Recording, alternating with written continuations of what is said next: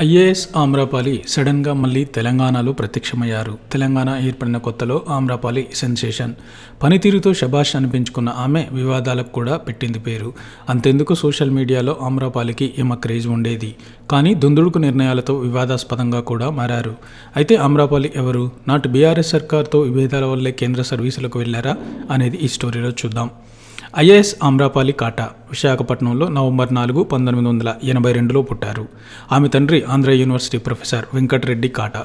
ఆమ్రాపల్లి తల్లి గృహిణి. ఈమె విశాఖలోని సాయి సత్య మందిర్ స్కూల్లో చదువుకున్నారు. ఇంటర్ పూర్తయిన తర్వాత ఐఐటి చెన్నైలో చదువుకున్నారు ఆమ్రాపాలి.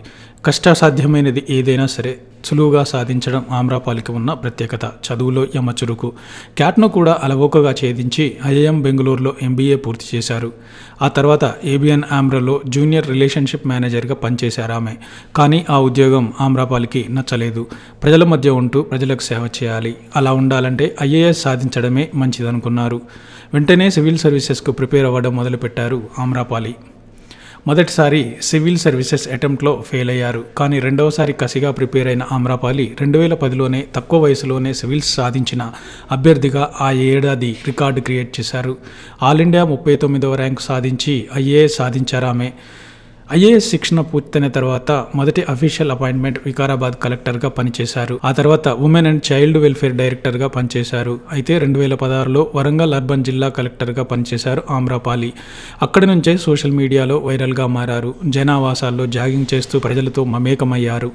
ట్రెక్కింగ్ కూడా చేస్తూ యాక్టివ్గా ఉండేవారు ఆమె వరంగల్లో శుభ్రత ఫ్లైఓవర్లు టాయిలెట్స్ మెయింటెనెన్స్తో పాటు పలు అభివృద్ధి కార్యక్రమాలు చేపట్టి గుర్తింపు తెచ్చుకున్నారు. ఇదే క్రమంలో ఆమె మాటలు చేష్టలు కూడా వివాద వివాదాస్పదమయ్యాయి. రిపబ్లిక్ డే రోజున ఆమె చేసిన స్పీచ్ దేశవ్యాప్తంగా కూడా వివాదాస్పదమైంది. మరుగుదొడ్లు అనే పదాన్ని తప్పుగా పలికి తెగ నవ్వుకున్నారు ఆమె. దాంతో ఉన్నతాధికారులే కాదు రాష్ట్ర ప్రభుత్వం కూడా ఆగ్రహం వ్యక్తం చేసింది. కలెక్టర్ స్థాయి వ్యక్తి రిపబ్లిక్ డే స్పీచ్లో ఇలా చేయడం ఏంటని విమర్శించారు. యువత కూడా ఆమ్రపాలి చేష్టలను సోషల్ మీడియాలో తప్పుపెట్టారు.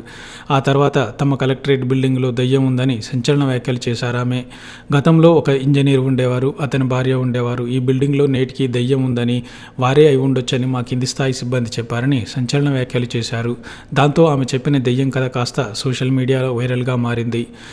ఇదే కాదు ఏకంగా తన సిబ్బంది మొత్తానికి బాహుబలి టూ థియేటర్ మొత్తం టికెట్లు బుక్ చేశారు ఆమె. సిబ్బంది కుటుంబ సభ్యులకు కూడా సినిమా చూపించారు. దాదాపు ఐదు వందల టికెట్లు కొన్నారనేది ఆమెపై ఫిర్యాదు.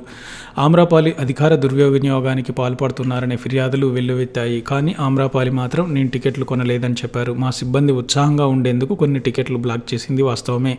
కానీ ప్రభుత్వ సొమ్ముతో టికెట్లు కొనలేదు. ఎవరి డబ్బులు వారే పెట్టుకున్నారు కార్పొరేట్ కంపెనీలు కూడా టికెట్లు కొనడం కామనే కదా.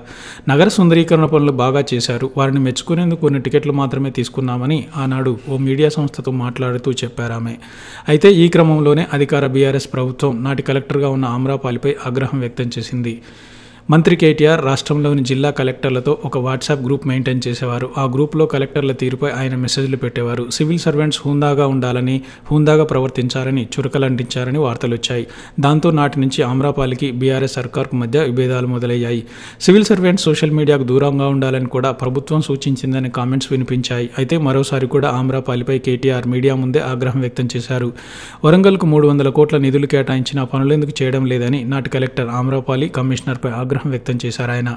మిమ్మల్ని బదిలీ చేస్తే వేరే ప్రాంతానికి వెళ్తారు. మరి ప్రజాప్రతినిధులు ఎక్కడికి వెళ్తారని ఫైర్ అయ్యారు. అప్పుడే కేటీఆర్కు ఆమ్రపాలి ఏదో చెప్పబోగా అడ్డుకున్నారు. డోంట్ ఆర్గ్యూ ఆమ్రపాలి అంటూ సీరియస్ అయ్యారు కేటీఆర్. ఆ రోజుల్లో ఈ వార్త వైరల్గా మారింది.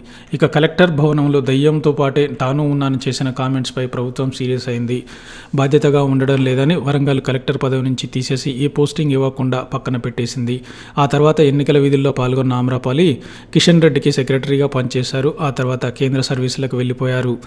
అయితే నాటి బీఆర్ఎస్ సర్కార్లు పనిచేయడం ఇష్టం లేక ఆమె కేంద్ర సర్వీసులకు వెళ్ళిందనే వార్తలు వచ్చాయి. తనను టార్గెట్ చేస్తున్నారని ఏ పోస్టింగ్ ఇవ్వకుండా చేశారని ఆమె వాపోయారట.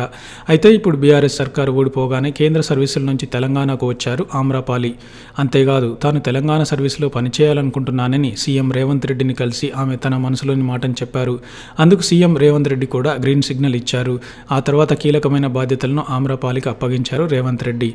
పట్టణ సుందరీకరణలో ఆమ్రపాలికి విశేష అనుభవం ఉంది. వరంగల్లో పనిచేసినప్పుడు ఆమె తన పనితీరుతో ప్రజల మనసును గెలుచుకున్నారు. కొన్ని వివాదాస్పద వ్యాఖ్యలే కుంపముంచాయి ఇప్పుడు Amrapali Hyderabad metropolitan development authority joint కమిషనర్గా మూసీ నది అభివృద్ధి కార్పొరేషన్ ఎండీగా కూడా అదనపు బాధ్యతలు అప్పగిస్తూ ఉత్తర్వులు జారీ చేసింది ప్రభుత్వం.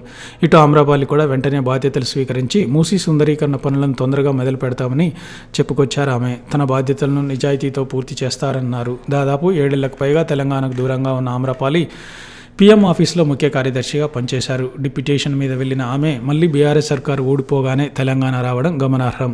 అంటే ఒకవేళ బీఆర్ఎస్ సర్కారు మళ్ళీ వస్తే ఆమ్రాపాలి తెలంగాణకు వచ్చేవారు కారేమో. అయితే సివిల్ సర్వెంట్స్ సోషల్ మీడియాకి ఎంత దూరంగా ఉంటే అంత మంచిది అనేది వాస్తవం. ఎందుకంటే సిన్సియర్ ఆఫీసర్గా పేరున్న యూపీ కలెక్టర్ దుర్గాశక్తి భర్త కూడా అధికారిక వాహనం ముందు ఫోజులు ఇచ్చి ఇన్స్టాగ్రామ్లో పెట్టడంతో ఒక్క నిమిషంలో సస్పెండ్ చేసింది ప్రభుత్వం.